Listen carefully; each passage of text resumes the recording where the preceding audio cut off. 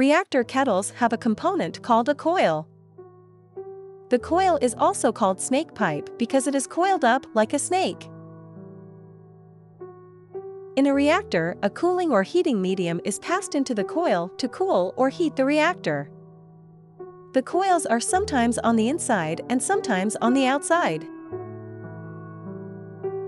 There are also cases where another form of heating is required and the coil is simply not used. Therefore, when we look at a reactor with or without a coil, we should never look at its appearance. There are two choices of coils. One is an internal coil, and they look like what you are watching it now. These are the semi-finished coils. Generally, they are made from corrosion resistance material like stainless steel 304, 316L, and other nonferrous metal with higher resistance feature.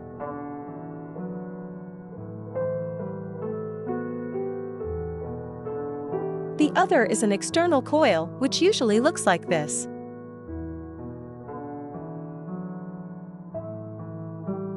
It wrapped limply around the kettle body but after a bit of conditioning by the master worker, he immediately became upright. Its edges need to be tightly welded to the kettle body.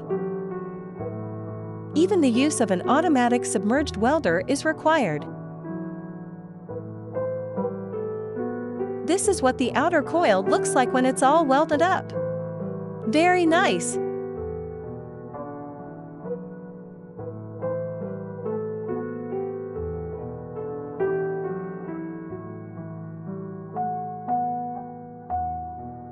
What's this? Let me check it out.